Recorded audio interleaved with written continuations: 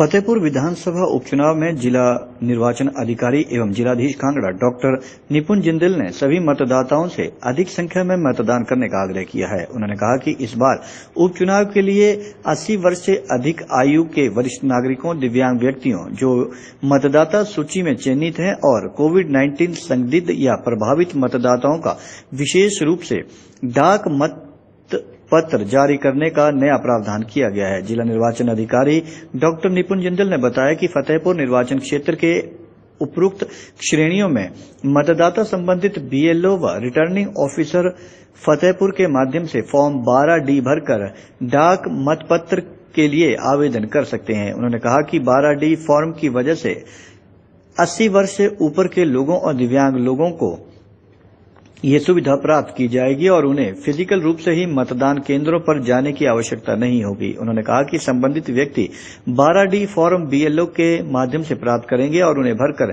BLO के पास ही जमा करवा सकते हैं। जिला निर्वाचन अधिकारी ने बताया कि ऐसे मतदाताओं को बैलेट पेपर जारी किए जाएँगे।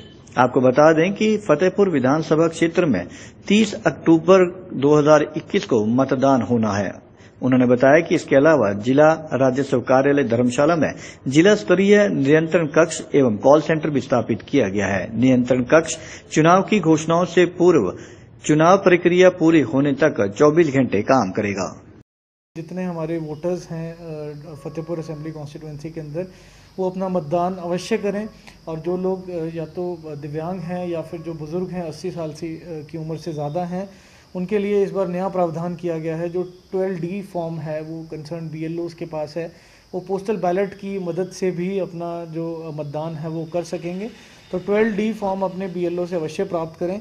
यदि कोई पोस्टल बैलेट करना चाह रहा है, कोई दिव्यांग व्यक्ति या फिर जो 80 साल की उम्र से ज़्यादा बुज़ुर्ग व्यक्ति हो और मतदाता हो वहाँ पे तो जिससे उनको सहूलियत होगी और जो वो मतदान है, उनका किया जा सकेगा और उनको फिजिकली मतदान केंद्र पर जाने की आवश्यकता नहीं रहेगी। ट्वेल्व डी फॉर्म है जो ऐसे जो श्रेणी के मतदाता हैं, उनके लिए प्रिस्क्राइब किया गया है और ये सभी बी को डायरेक्शन दी जा चुकी है और उनके पास ट्वेल्व डी फॉर्म की प्रतियाँ भी दे दी गई हैं। तो जो कंसर्न ऐसे लोग हैं, वो अपने बीएलओ से संपर्क करें। बीएलओ उनको वो फॉर्म प्रदान करेंगे। उसको भर के वो अपने वापस बीएलओ को दे दीजिए और उनको चुनाव से पहले जो बैलेट पेपर है, उनको पोस्टल बैलेट है, वो मिल जाएगा। और उसी को भर के वो वापस अपना जो हमारी टीम्स हैं, उसको कलेक्ट कर लेंगी। उनको फिजिकली मतदान केंद्र तक जाने की आवश्यकता नहीं रहेगी।